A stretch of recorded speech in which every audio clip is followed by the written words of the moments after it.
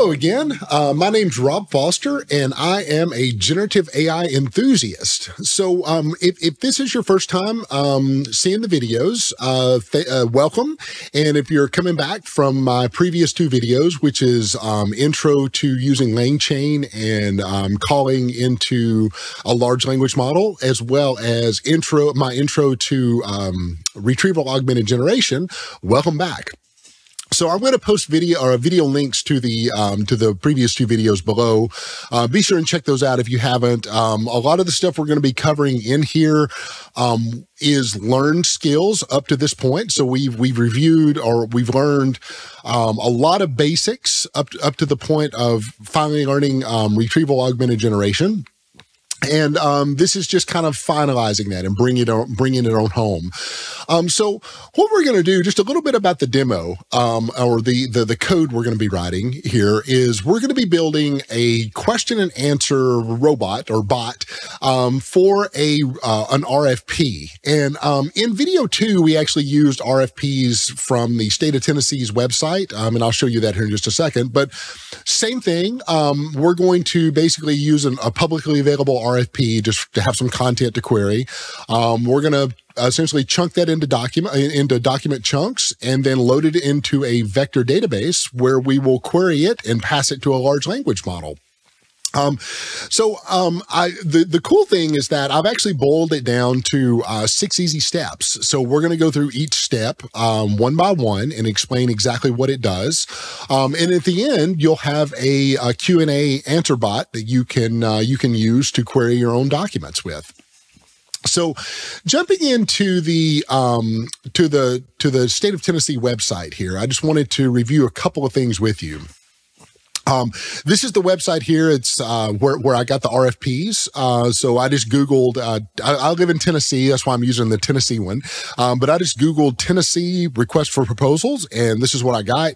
And, and there's a bunch of RFPs here that you can download and um, you respond to if you've got a business that, you know, the state, you want to solicit to the state to, to, to do things. But um, I'm using it just as part of this demo. It's just publicly available um, RFPs. And one of the RFPs that I, I found was um, it's a 62 page RFP and it's um, basically for nurses aid testing, uh, where the states want state wants to find a vendor that can come in and administer tests for nurses aides. Um, pretty awesome stuff, um, but it's it's enough content where we almost need to load it into a um, into a vector database. Um, to, to be effective or to be efficient in the way we pass it to the large language model. Now, in demo number two, um, I've got some some funny diagrams here. Um, all of which, by the way, this imagery was generated with generative AI.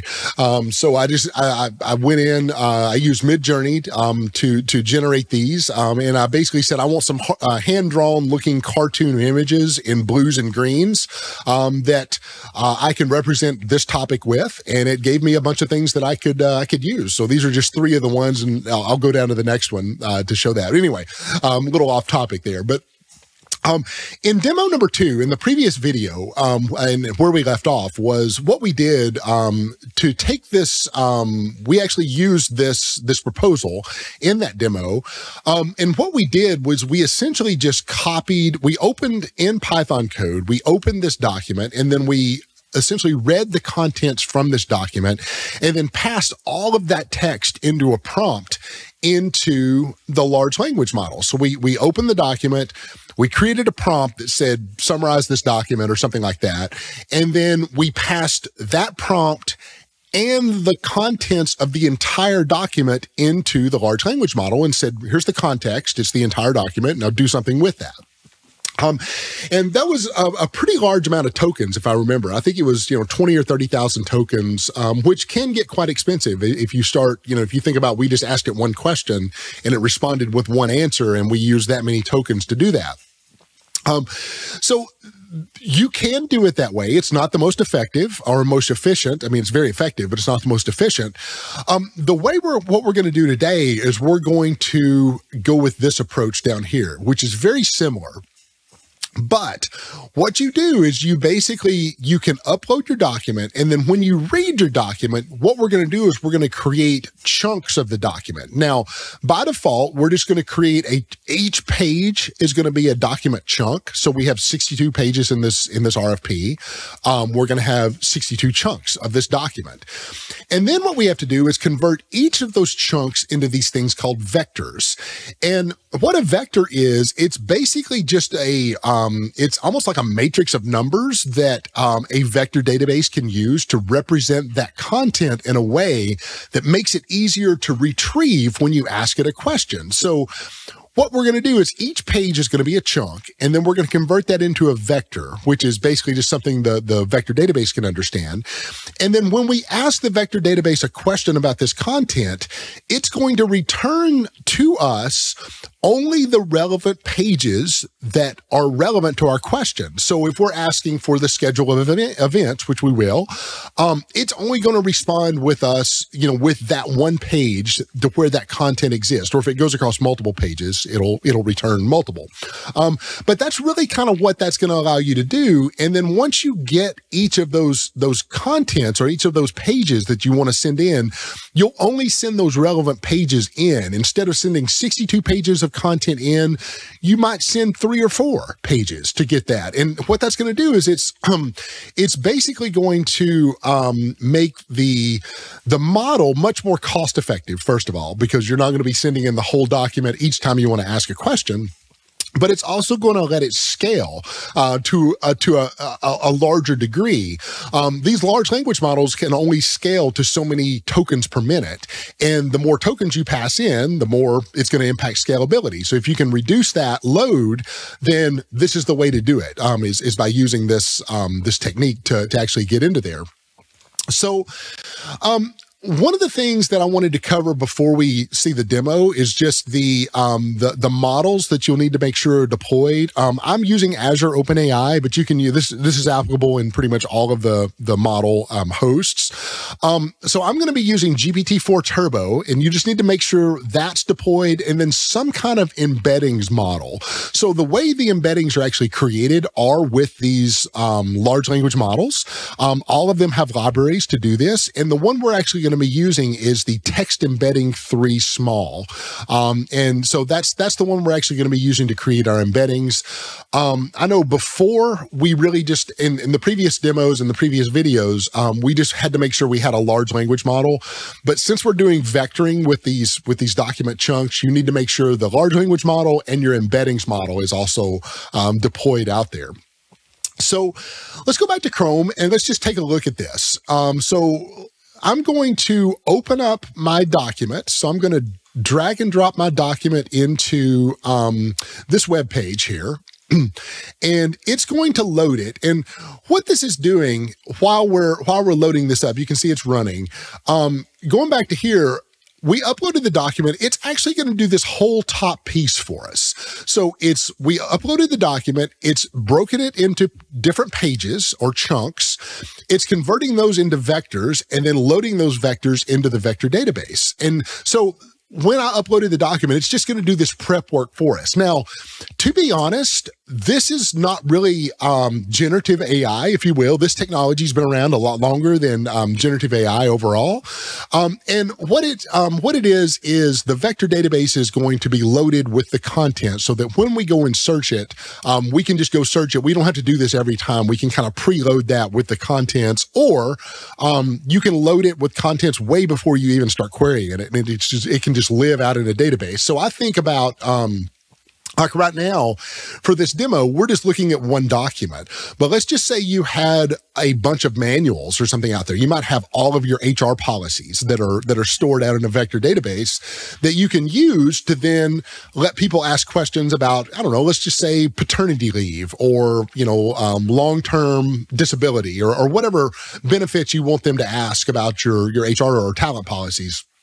Um, that are that are out there, um, you know, you can preload these vector databases and then just use that them with the techniques we're going to learn today. But today we're just loading them on the fly as we upload a document because we're just looking at one document at a time. But that's that doesn't have to be the way you do it. You can preload it. You can do whatever you need to do. Um, it just so happens that we're just preloading or we're loading a document on the fly here. Okay, we can come back here now that we've we've um, got it up and uploaded and everything, um, we get this text box and I'm just going to type in a question that I can ask about my document. So the question I'm going to ask is what is the schedule of events?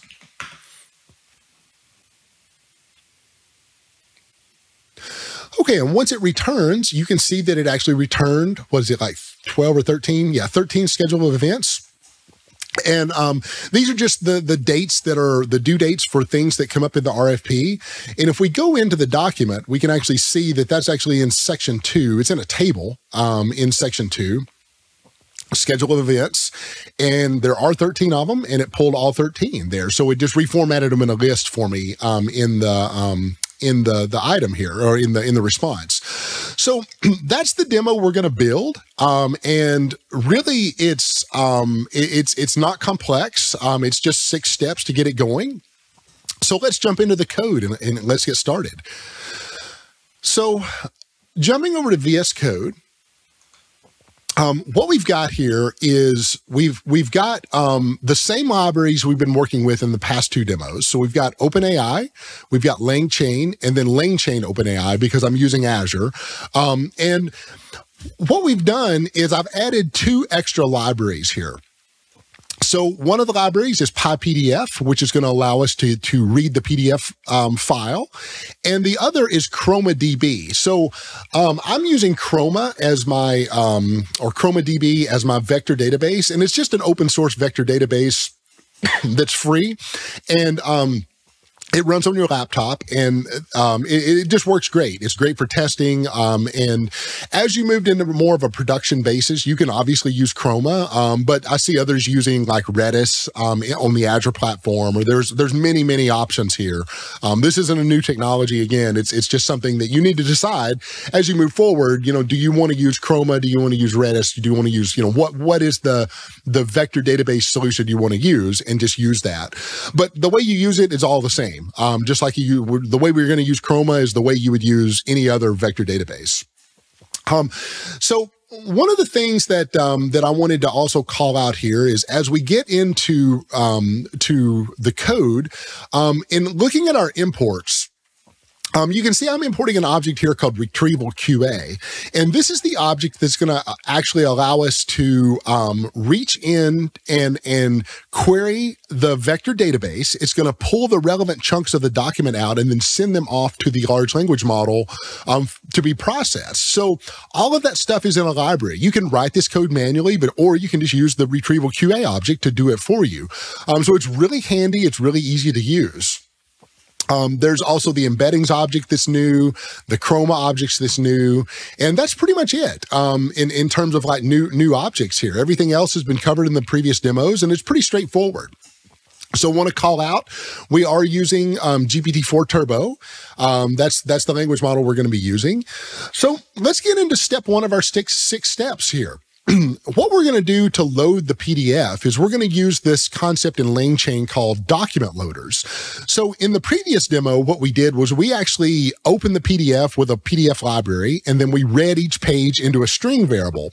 Well, um, LangChain actually makes that a whole lot easier. We, we wrote, you know, eight or 10 lines of code to do that. It's not complex, but um, what you can do is you can use your document loaders in LangChain and then just call the load method. And what that will do is just simply, it'll read the document, it'll load it into a, a document object for you. Now, it also does the chunking part for you as well. So if we run the code, oops, let me stop Streamlit from running.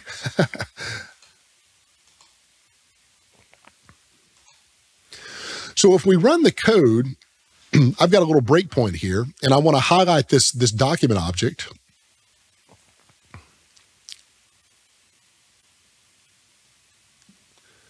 Right. So I'm loading this document, um, this, this nurses aid testing PDF into the document object. And then when it loads, I want you to see the chunks. Let's just expand this out. So this is the document object in the um, in the variables window. Um, you can see that each chunk right here um, is a page in the document. And since there's 62 pages in the document, there should be 62 documents, 62 chunks in here because we said that we're going to chunk this up by page. so that's really how you do it. So all of the chunking and stuff is done when you load the document with the document loader. So see, that wasn't too bad. Now there is, let me stop this from running and close my window here. Um, step two is creating the embeddings, and it's equally as easy. So in the embeddings, when you create your embeddings object, all you have to do is essentially reference your um, embedding model that you're using, and you create it just like you would a large language model. So you have to pass in the base URL, you have to pass in the key, you have to pass in your deployment ID, um, and then an optional chunk size. And we're not going to cover uh, what chunk sizes are right now, but um, basically, you just set up your embeddings. Um, and, and this just says, hey, I'm going to use this embeddings model to create my embeddings from those document chunks. Now, um, step three is actually creating these embeddings from those document chunks. So what we have to do is we have to convert each document chunk into this three-dimensional numeric thing that the vector database is going to understand. And the way we do that is we create the vector database, okay, from the chroma object that we declared up here. So this, or we imported up here. So this is the LangChain vector stores chroma. Um, we're going to create the vector database from the document chunks. So this is the document that we loaded, right? And then we're going to tell it to say, use this embeddings model that we created up here. So use these Azure embeddings to embed this document into the vector database. Um, that's all you have to do to create your embeddings. That's that's really it's one line of code. Now there are some some lines here that I, I you know it's it's not relevant to what we're doing, but Chroma because it runs on my laptop um, it will cache sometimes cache this uh, this information. So what I'm doing, what this lines these lines of code do here is it basically just loads a blank item into the list and then clears everything out of the um, of the vector database. So it's almost like a, a delete all for the vector database, so I can start fresh every time I upload a document. Um, but really, that's that's to, to create your vectors, um, your chunks, and your vectors is is really just one line of code. Um, so that's that's pretty straightforward there. Step four. Um, so now that we've got our vectors created from our chunks, we need a way to retrieve those relevant chunks from the vector database. Now, the vector database has this thing called a retriever. Um, and what you can do is you can call from the Chroma vector database the as retriever model um, and that's going to set up a, um, an object of retrievers that will allow you to query into that vector database. Now, there is an argument here, um, which is a search argument. And it's basically saying the K equals six is saying, give me six up to six pages of relevant content at a time you might need to up this or down this. I find six is a um, is a good number to start with. Um, if you need 20, use 20. Um, just make sure that the model that you're using, um, make sure that the um, the OpenAI model that you're using is can support a context of that size. So if you're using like GPT 3.5, which has an 8K context window, um, you may be able to pass in four pages um, instead of 30 pages, right? So um, you just have to watch that search thing and tune it accordingly to whatever you're trying to um, trying to accomplish with your, your little chatbot here. Um, we're going to use six for this. And now what we do, step five, pretty much copied and pasted from all of the other examples is we have to create the language model reference. Um, this is really just the, um, this is where we're referencing um, GPT-4 Turbo for the large language model. Um, and then we're going to use the retrieval QA object to create a new chain um, of events that happen that will allow us to it will allow us to use the retrievers to retrieve relevant document chunks okay, and then pass those chunks into the large language model. So here's our large language model. Um, it will return the source document. So if we had more than one document uploaded here, you might want to reference which document this content came from. So we're going to return those, even though it's just going to return one document. Um, and then we're going to use a chain type type of stuff. Now we're not going to get into the different types of, of chain types here, but what this will do is it will, um, let's just say we ask a question and it returns six, six, uh, pages back to us. Um, all it's going to do is it's going to stuff all six of those pages into the prompt and then pass those in as context. Um, the other ones react different ways here. The other options, which are, um, refine, map reduce, and map re-rank act a little little differently, but we're just going to do stuff and just know that if the retriever returns six pages, it's going to stuff all six of those pages. If it returns three pages, it's going to it's going to stuff all three of those pages into the prompt.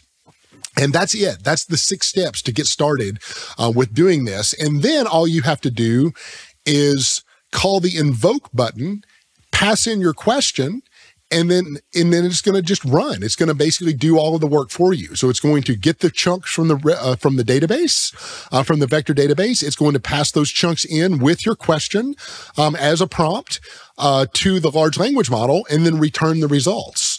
So let's just run it right quick, and let's just watch that and see what happens. The other code that I've got down here is basically just a just a loop. Um, just finish running that. Um, so it's just a loop that will basically loop through until I type quit and then just allow you to enter questions in about this document. So it's just a, it's just going to let you ask questions over and over again.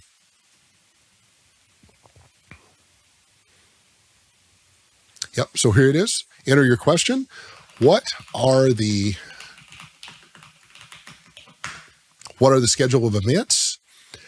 So now it's just going to run that retrieval QA from chain type. It's going to get probably page four or whatever page that was. Um, it's going to pass that in and then and then return the results to us. So hopefully it'll return a list here um, that matches the list that we had uh, in the web page. Yeah, so that's what it did. It pulled return 13 of them. Um, here's your schedule of events, and um, there it is. So, um, very cool. So you can see I actually only made one request. Um, I passed a total of 4,000 token, 4,427 tokens in, and this whole thing cost 14 cents to run. Um, so that's a pretty insignificant number um, when you look at asking a question of a 62 page document, right? So it's, it's, um, fairly easy and trivial to uh, to get set up and running. But that's really the six steps that I wanted to cover with you um, on here. Um, you know, which are uh, again going back to um, going back to the code. Um, the six steps that we we reviewed are loading the document. Okay. Um, setting up your embeddings, creating your embeddings from your document chunks, set up the retrievers. Step four is set up the retrievers. And then step five, set up the language model. And then step six, create a Q&A model that will basically run the chain of events that will give you back the relevant information that you're asking about the document. So I didn't want this to be too long of a video. I think they, you know, as we get into uh, longer and longer videos, it's hard to, uh, to keep up. I wanted to simplify it and boil it down.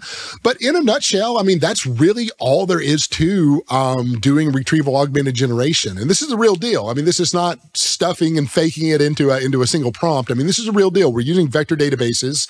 Um, you know, we're, we're creating chunks and embeddings, and, um, and then we're using LangChain to actually make all this and tie all this stuff together to, to call into the large language model. Um, so I hope this has been helpful to you.